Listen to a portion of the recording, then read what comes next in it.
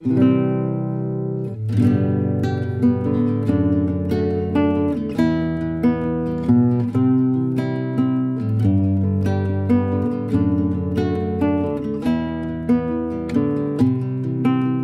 story begins with an invitation from an old shaman.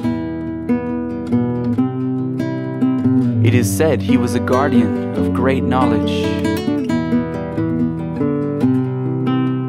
His meager hut, located high in the Andes, could only be reached after a long and arduous journey.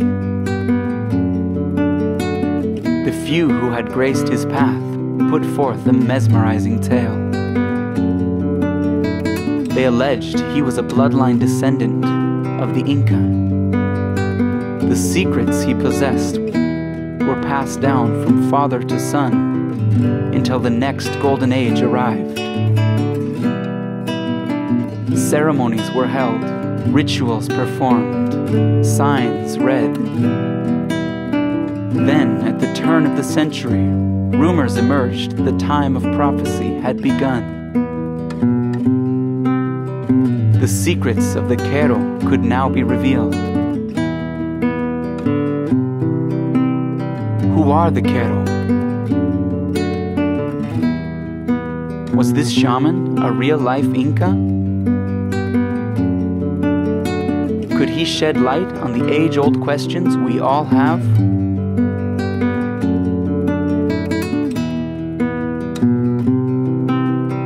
What did he and shamans from the jungle know of ayahuasca, the sacred and hallucinogenic tea that was reported to cure addictions, heal psychological wounds, and provide enlightenment?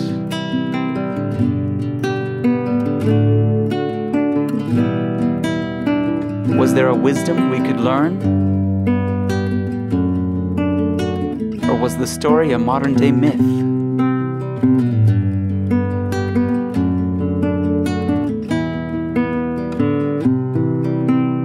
Let us now journey into the world of the and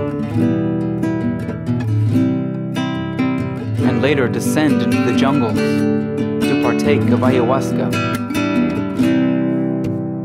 Let us hear from these mystical healers in their own words. Let us sort fact from fiction and discover what lies beneath the veil.